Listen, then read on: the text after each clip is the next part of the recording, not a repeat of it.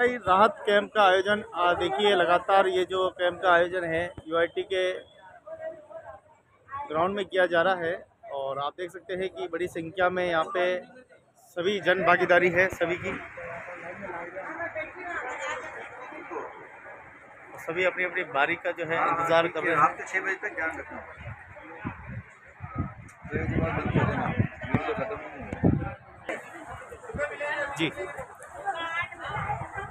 सबसे पहले मजदूर दिवस की आप सभी को हार्दिक शुभकामनाएँ। इस प्रकार पूरे राष्ट्र भर में एक मई को मजदूर दिवस मनाया जाता है। आज उसी के उपलक्ष्य में, जैसे विगत कई दिनों से, जैसे चौबीस अप्रैल से राज्य सरकार के निर्देशानुसार प्रत्येक ज़िले में महँगाई राहत कैंप की शुरुआत हुई है। महँगाई राहत कैंप का उद्देश्य एक दस मूलभूत योजनाओं का लाभ देकर समस्त राज्य के नागरिकों को महँगाई से राहत दिलाने का पूर्ण प्रयास करना है। उदयपुर नगर विकास प्रन्यास में प्रत्येक दिन लगातार सुबह के समय हम जो कैंप की शुरुआत करते हैं 10 बजे से 6 बजे तक कैंप का समय रहता है।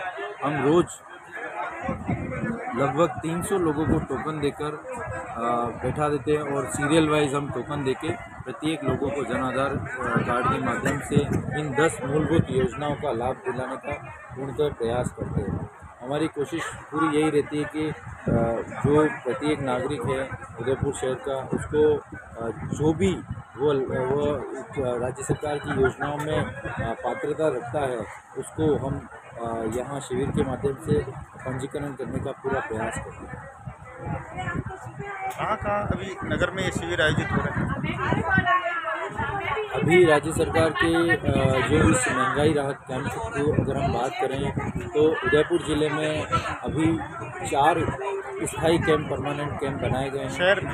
शहर में। जिसमें सबसे पहले कृषि मंडी सवीना अटल सभागार सेक्टर चार R N T Maharana Bhopal चिकित्सालय और नगर विकास प्रन्यास यू ये स्थायी कैंप है। उसके अलावा हर वार्ड स्तर पर भी अस्थायी कैंप भी लगाए गए हैं।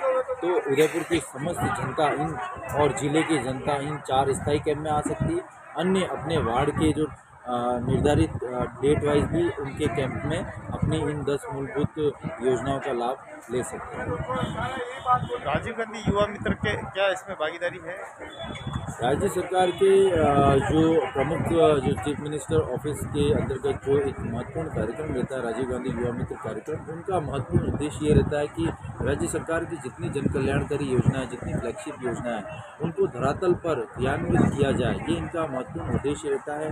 और अभी जो चौबीस अप्रैल से महँगाई राहत कैंप एम की शुरुआत की गई है, उसमें प्रत्येक राजीव गांधी युवा मित्र को अपने निर्धारित स्थल पर जहाँ वे रहते हैं, वहाँ पे उनको एक मॉनिटरिंग के लिए अपनी पूरी ज़िम्मेदारी दी गई है कि वे लोगों की जन समस्या सुने और जो उनकी, जो पात्रता रखते हैं, जो योजनाओं में उनका, उन योजनाओं में पंजीकरण कराने का पूरा प्रयास करें क्या फीडबैक रहा है अभी तक का अनुभव?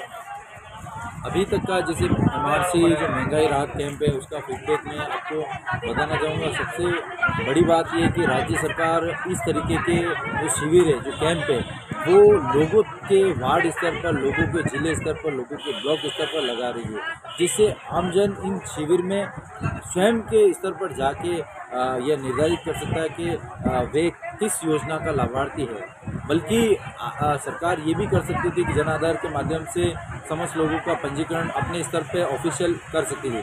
लेकिन सरकार ने उसका एक सकारात्मक जो एक नवाचार निकाला कि इस तरीके के कैंप होंगे तो योजनाओं की जागरूकता बढ़ेगी। जागरूकता बढ़ने से प्रत्येक पात्रता रखने वाला व्यक्ति उन योजनाओं में लाभ लेने का पूरा प्रयास करेगा। तो ये शिविर एक प्रकार के बहुत जागरूकता भी रख रहे हैं और एक से व्यक्ति अगर पंजीकरण कराता है तो दस को देता है तो दस से बीस बीस से सौ, इस प्रकार के हज़ारों लोग प्रतिदिन कई सारे शिविर में जाके अपना लाभ ले रहे हैं।